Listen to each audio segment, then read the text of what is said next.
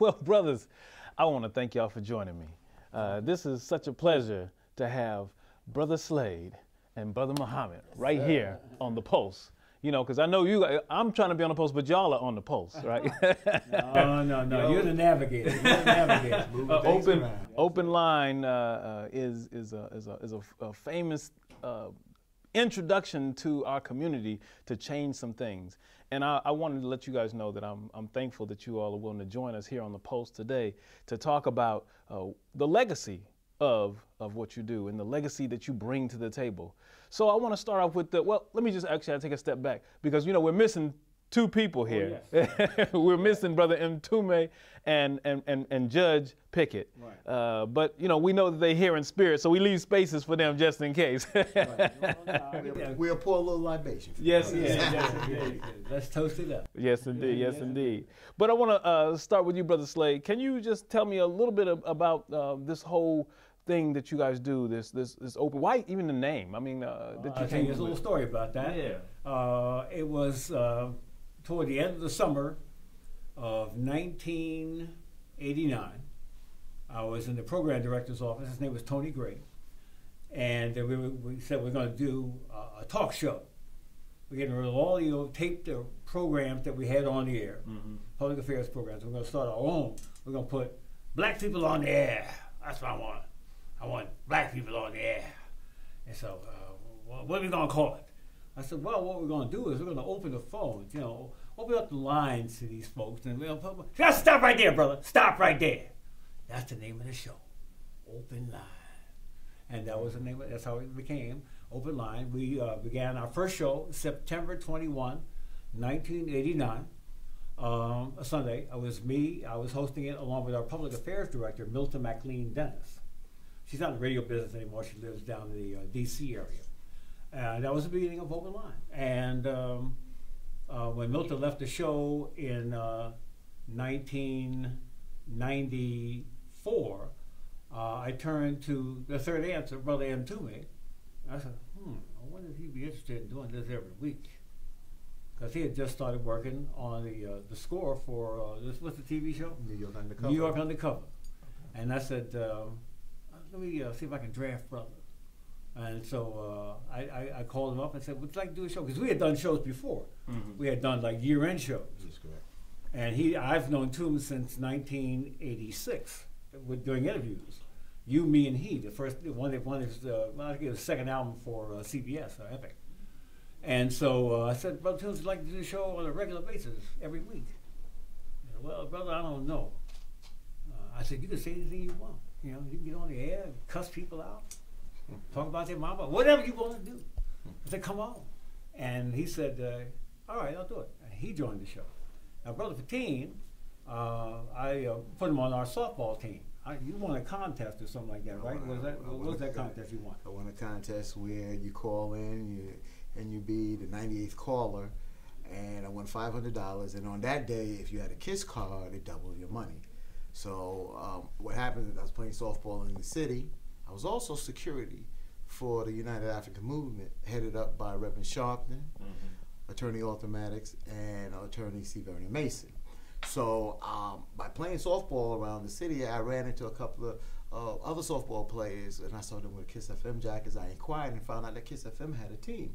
So when I came down to pick up my winnings from the station, I inquired, and they said, "Well, Bob Slade is the manager of the softball team." I said, "Oh, okay." And uh, they said when the time comes up, you know, we'll have him reach out to you. But I wasn't going to leave it up to Bob Slade, even though I didn't know him at the time. I wasn't going to leave it up to him to call me. I kept calling, and he he told me when it was I had to come down and try out. I, I just didn't make you know this was put on a team, so I tried out and made a team. And one thing led to another. You know, I inquired about volunteering because I enjoy listening to the program. So Bob's like, okay, maybe one day, one day I get you to come down. So it was a Saturday. I'll never forget this. It was a Saturday, me and Bob was talking. He said, you know, something Reverend Sharpton was involved in. He said, man, I really wish I can get in touch with Reverend Sharpton. I said, I can get him right now. Hold on. Got him on the phone. And after Bob and Reverend Sharpton had spoken, uh, brother said, why don't you come on down and volunteer? So I went down to volunteer. There was three interns. One is a gentleman, Dean Meminger, the son of former New York Knicks ball player Dean Meminger. He's on New York One now. That is right, Dean Meminger. Dean Meminger. Right, and what happens is once their internship ended, they left, but I was still able to volunteer. As Bob was saying, there were some changes at the station, and the producer at that particular time, when Bob Slade mentioned uh, him and Milton doing it, was a gentleman by the name of Sean Court. And 98.7 Kiss was going to integrate or start off uh, a Kiss inspiration, a gospel show. At the same time as, the talk show. Right. Okay. Okay. Mm-hmm. So what happens is Sean Court wanted to be the DJ, and he went into that role, and he said, "Brother Fatiym, I really can't produce now because I'm doing that." And of course, you know, Bob Slade said, "You know, I agree." Bob Slade, of course, trained me, and I was there, and I was there when he brought Brother Mtume on board, and of course, one thing led to another. I think it was it, not it was the OJ trial, right. Where Bob Pickett would come down, and then sometimes that Mtume would be caught in the studio, and he couldn't make it, so it would be Bob Slade and Bob Pickett. And once uh, Mtume got a better hold on New York Undercover and things were going and cool, until then, that was the tr- that's how the triangle started. Mm-hmm. Uh, Bob Slade, the third answer, brother Mtume, and of course attorney Bob Pickett, and then of course myself as the producer. Yeah. That's an interesting journey. I mean, I think that that you know probably not a lot of people know that story, and I think that this is a, gives us a good opportunity to kind of see uh, the, this synergy. But you know, one of the things I wanted to say that that I think is important here, especially for young folks watching, is the persistence. You know, your persistence in wanting to be involved, wanting to be educated about the process and, and, and, and staying to what it is that you were, you were interested in that led you to have the create the possibilities. The possibilities didn't just appear, you made them. You came in talking about baseball, but you ended up doing something completely different than that. And your persistence, your desire to be involved, uh, created an avenue. And so for young folks out there, they, they have the opportunity. They just have to figure out how to create those opportunities. Well, you know, um, uh, a football player, former New York Jet player, once said to me, and I, I use this when I go on speaking tours. Um, I said, "There's no such thing as luck." And I, Dan uh, was um, uh, no, it'll come to me in a second. The football player, Ed Marinaro, was his name. Uh, he ended up starring in Hill Street Blues and all my TV shows. Uh, he said, he said, you know, my old coach said to me, he said, he asked the players one time, he said, what's the definition of luck? and nobody in the clubhouse knew what he was talking about. He said, it's when preparation meets opportunity. Mm. In other words, there's no such thing as luck. If the opportunity arises and you're prepared, bam. And I add one one other piece to that, and that's perspiration, because you got to put in some serious work, yeah, you know, right. and, and, and, and your that's part of the preparation. Yeah, yeah, yeah. That's yeah. all part of that, and uh, and so um, that's really what it's all about. I mean, you have to be. Uh, everybody says, "Well, I'm lucky." No, you're prepared for that you knew this was going to happen. Luck is like, you know, when the opportunity arises, you're prepared. It's like buying a lottery ticket. You know, you prepared. You have five dollars in your pocket. You put the five dollars down. You bought your lottery ticket. The opportunity arose. Give me that money. Right. Well, well it's interesting. I look into this slightly a little different because I was passionate about radio. Mm-hmm. Uh, I enjoyed music, but I enjoyed the delivery of the disc jockey. And of course, I remember when 98.7 Kiss was born, of course, Bob Slade was there. But as a listener, um, when 98.7 was born, coming from 99X, um, and BLS, of course, 107.5, I, I'm not saying I was a, a big fan at that particular time, but I was growing up on that 99X side. So when 98.7 Kiss was born, as a listener, I was out there in the street, so I enjoyed what they did. Go back a little further, before Kiss, I believe, was 92 KTU. How that station just popped up, by, that popped up, and word them out on the streets. And the ratings that uh, 90, 92, it was at 92.3 KTU at that particular time, got one of the highest ratings during our old system, the diary system in Arbitron. That was the fall of 1978. Right. During the disco era. Right. And that, uh, what happened with that period is when uh, our listening patterns changed. We didn't listen to, we wanted our music uh, in stereo. Mm-hmm. We didn't want it on AM radio, which right. was dominant back in those days. So the bandwidth, uh, the band that we wanted to hear our music on was FM, not AM AM slowly died, didn't play music anymore. FM was the uh, dominant band when it came to listening to music. And the 19 and, and that rating book came out in the uh, winter of 1979. It's a famous rating book. Tony Gray, if you're out there, you have that rating book. You stole it from the radio station. But no, yeah, it's, it's, it's, it's a classic piece because that was that changed radio, period, across the country. It definitely did.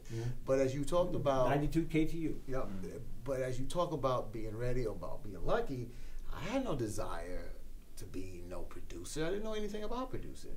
Um, but what I was doing, as I mentioned, I was security for Reverend Sharpton. But at the same time, with the softball going down, I was starting a family.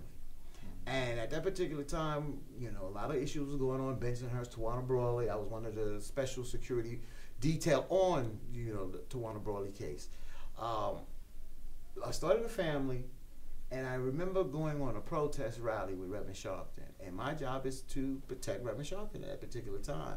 We got surrounded by some people in the neighborhood, and I didn't know which way to go because I had my wife there, who was pregnant, and Reverend Sharpton.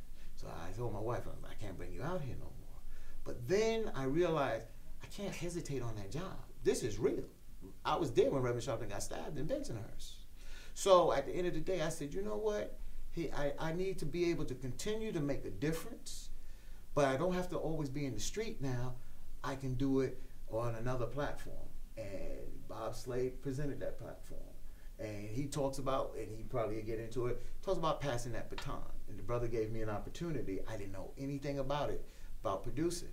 But I was passionate about radio and being able to bring that conversation into your living room And one thing led to another because I'll be honest with you, for 20 years I worked in data center, computer operations, and I was producing open line.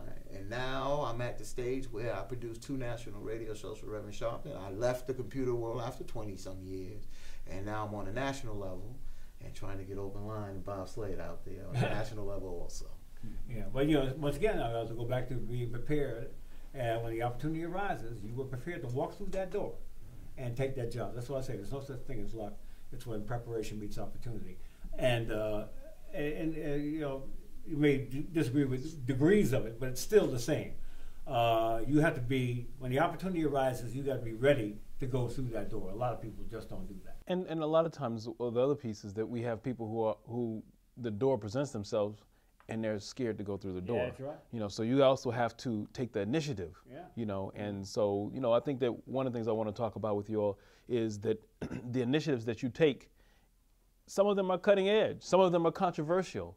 Uh, how do you navigate that space where one, you know, you have the three of you who may, or the four of you may disagree on something, but then the other side of that, where you have issues where you all may be on the same page, and the public may be at a difference. So how, how do you navigate that space where you have these these strong oppositions in terms of things? Well, I understand this. You know, this is show business. Yes. It's, nothing changes. Yeah, we're doing show business right now. Y'all may not believe this show business. Don't tell all our secrets. No, it's the same thing. You put on a show, uh, and when you put on the show, you have good guys and bad guys. You have uh, issues you're for and against. And in the process of building that show, what you do is you start strong, or you try to start strong. The middle is where you give all the information out, and you end strong. So the audience will come back to you again next time. There's something in that show that they want to hear, and you put on you're putting on a show. It's just like a television show. It's like you know American Idol or any other kind of show. Uh, even uh, on MSNBC, all the talk shows they do. You start out with a big issue, in the middle you have some other stuff going on, you end with something, and then you close out with either a funny thing or something to remember or something they can take home with. Uh, we close out our shows with information that you may not have uh, heard from other places. We give out, you know, community announcements. Hey, this is going on in the community. You need to go and check it out. But we start out bang. In the middle is all the other stuff that's going on, and the phone calls and people participating you get the audience engaged, and then that throughout the broadcast, and then um, you you you know you put your program together and you end strong. It's all about a show. Mm-hmm. Yes, there are elements of that that are important to the community. Yes, but in the in the reality of things, when you break it all down, it's really about a show. We believe, and that Melvin Mann Peoples once said to me, he says, a lot of people who are in the business, especially in the um, in white media, uh, it's like uh, an attitude of don't woke them, let them slip when it comes to our community. In other words, you don't play, uh, don't give them information shows. Play a lot of music. Keep them dancing. Play some records. You know, put videos on TV. Do that kind of thing, and they'll be happy with that. But no, we want more things than that. We want you to talk to me. Tell me what's going on. Tell me what's happening in the world. I want to know what's going on. I want to know whether I'm going to live or die when I wake up tomorrow morning. And well, on the note about whether or not you're going to live or die, we're going to take a, a quick break. This is Dr. Khalfani. You're watching The Pulse. You always made sure I brushed my teeth. You told me that smart was cool. You always told me to dream big. To all of those parents who took the time to make raising their children their most important job, we'd like to say, Thank you. Thank you. From the bottom of my heart, thanks, Mom and Dad. This message is brought to you by the U.S. Air Force. Oh, hey, bud. Where, uh, where are you headed? Uh, just gonna hang out. With Gary and Todd? Yeah? I've been meaning to ask you, is there any drinking going on in this crowd? No? If any of your buddies ever pressure you to take a drink, just tell them you promised your dad you wouldn't. I'd do anything to keep you safe. Okay, I will. I hope this is working. I promise. Love you too, Dad. They really do hear you. For tips on what to say, visit underagedrinking.samhsa.gov. We hold these truths to be self evident that all men are created equal. The torch has been passed to a new generation of Americans. The American dream need not forever be deferred. This is the richest, and the most powerful country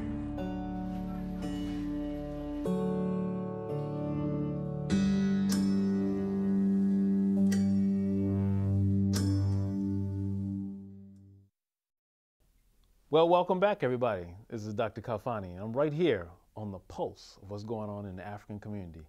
And you know, today we have some great folks here with us today. We have brother Bob Slade, the one and only, and my friend uh, Fatiym Muhammad. We're missing the other two parts of the open line show. You know who they are, Brother Mtume and Bob and Judge Pickett. Uh, so without further ado, though, I want to move right back into this discussion here.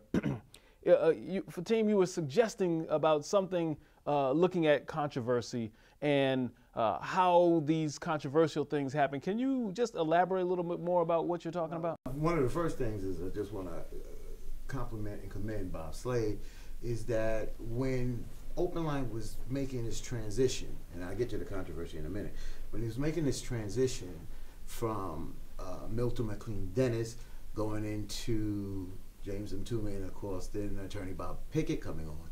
Uh, Bob Slade was looking at the media, and especially television and radio when it dealt with black media and the issues that we were dealing with. But he was looking at the sense of, wait a minute, we don't see black men having conversations out there. And uh, Bob said, you know what?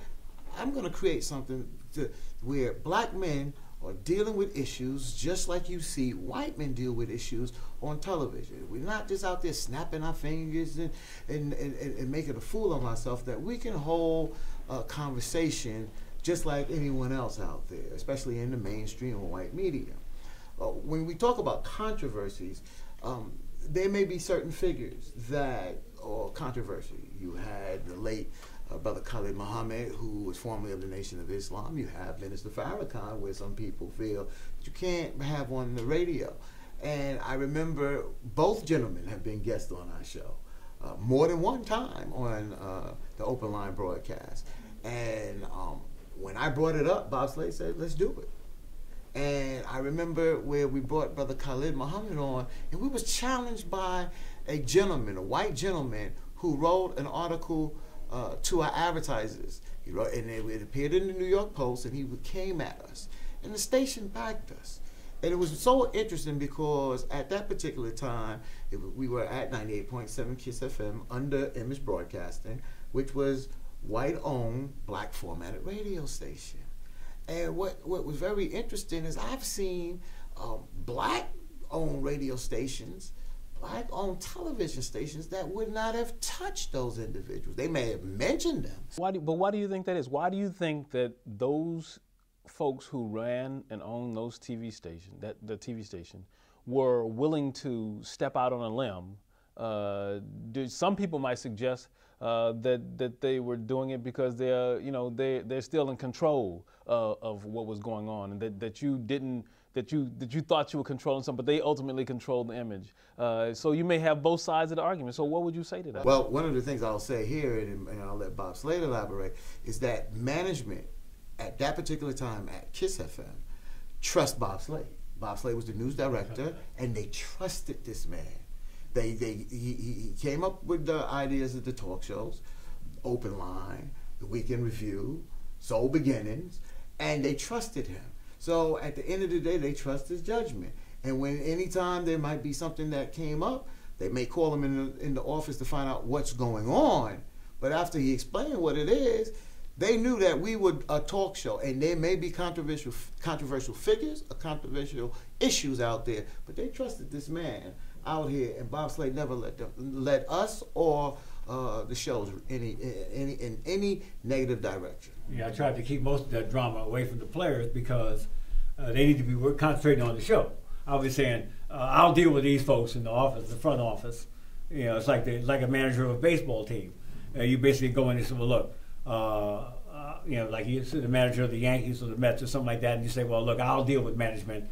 Uh, what's your problem? All right, I'll deal with these go- these guys over here, and I'll keep that from y'all. I'll let y'all know what the progress is and what happens to it. But they, yeah, they basically trusted us as a program uh, that, that, they knew that we were going to take it in the right direction and that the station wasn't going to get harmed and we weren't going to lose sponsors and they weren't going to lose business because of it. Mm-hmm. And that's and that's what it is. Uh, and we had a track uh, record of doing that. We won a bunch of media awards and things like that uh, that gave us uh, some power. Well, that's and that's a powerful thing. Speaking of power, uh, I wanted to, uh, I got two other questions I wanted to, to consider with you all today. And that is one is about uh, looking at, at, at, at, black or African men. As men of African descent, uh, you had some ideas, some thoughts about those things, uh, Brother Fatiym. Why don't you uh, tell us what, you were, what, what, your thoughts were? Well, at the end of the day, um, black men are under attack, were under attack. And when I say we're under attack, and we still are under attack, say, you know, yeah, exactly, exactly, we still are. We go pre-Million Man March. The image of black men, uh, not only in this country but across the globe, was not good. When you saw the news, you saw us coming out, you know, the perp walk, with hands behind our back. Um, um, uh, other stories that you saw that went global or the other issues, it was negative uh, images of us as black men. We were not considered or taken serious when it came to uh, talking about or dealing with issues uh, of, concern, not only in a black community, but mainstream issues. They didn't have us talking about that. Then at the next day, if you start to look at the news, you start to see they integrate white male anchor, uh, black female. So basically, what do you do? You know, you have the whole thing about equal opportunity.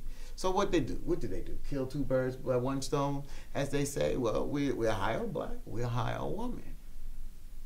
Left out the black man.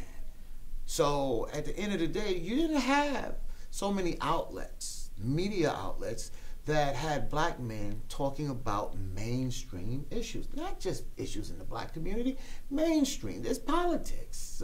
Before there was a President Barack Obama, there was other issues that affected us. And that's why I say Bob Slade, he's the one, he was the visionary and said, hey, you know what? For us to be taken serious, I'm going to make a difference. I'm going to do what I can do. I may can't change the world, but what I can do in this medium I'm going to take I'm going to take that chance and I'm going to do that. And Bob Slade said, I'm going to bring a group of black men, intelligent black men, and we're going to discuss issues, all issues, black issues, white issues, mainstream issues. And for that, I think I thought and I know that helped. That helped images here in New York City. It helped. I hear young folks coming up to me, man, I was listening to Open Line, man. We pattern our shows after Open Line and this, that, and the other.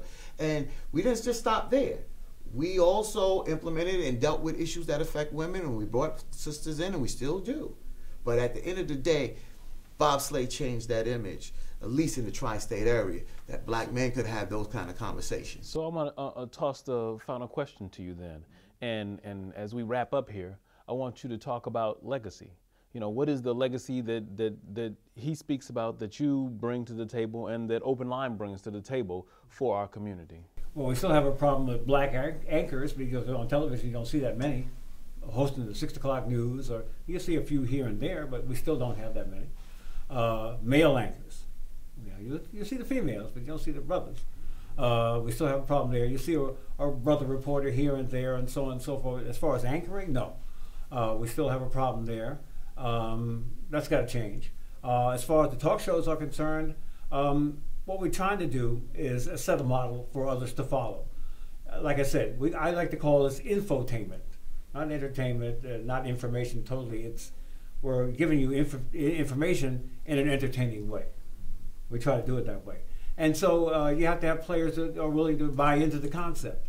Uh, and you have what you see on television now is really all these shows. If you watch these shows, they're really open line and Weekend Review on TV. You know, I'm looking at, I was looking at that show there. Look, look, look, they got panel discussions. I'm going like, whoa, what's going on here? But it's the same thing. Yeah, I'm glad to see it happen. But on the black radio side, you know, I'm sad about radio because radio is trying to compete with uh, Pandora and somebody's uh, uh, uh somebody's um, you know portable music machine or whatever they're carrying with them, uh, and just playing songs after songs and not even talking to people. Radio is designed to keep people interested and knowing that there's some life outside or the other, uh, there's something going on outside. The disc jockey is important. The disc jockey was the person that you realize was on the air talking to you. We've taken that person out of radio and re- replaced him with songs. Right, right. And that's sad. Uh, so what we're trying to do is bring that back. We try to do it with our shows. We try to have them entertaining. We play. We imitate television. Television imitates radio. So what we do is we turn around and imitate television. Where they they play audio sound bites. They play you know clips of you know. Uh, stuff going on, music, we do that too. Well, speaking of television and radio, mm-hmm. uh, I want to thank you for. It's over. Uh, it, you know how quick quick it goes. you legacy. Yes uh, real quick, open line. Legacy in the sense of providing a platform and making a difference. Meaning that uh, sometimes you saw issues being dealt with in our community on the news. It was a two or three minute soundbite. We provided a platform to deal with that issue making a difference. We made a difference in a lot of stories. And one story I would leave you with is the Central Park jogging story. Bob Slade stayed on that. We at Open Line stayed on that. And those boys were wrongfully accused, and it finally came out. And we made a difference, and this man led the charge on that. Well, it's always good to have good players on your team. You listen to you say, hey, we disagree every once in a while. But when it comes down to it, it's all about the show. And all about getting it on the air and letting people judge for themselves what we're doing. I think it's all about the people. Uh, we'll, we'll let it rest with that. Uh, yes, indeed. well, I want to thank you, brothers. Pleasure, brother. It was it's my pleasure to have thank brother you. Bob Slade and Fatiym Muhammad right here on The Pulse. I'm Dr. Khalfani, and I want to thank you for joining us. Stay tuned because we're going to have more shows, more great information for you on our next segment. But for right now, we're ending up with Open Line. Peace.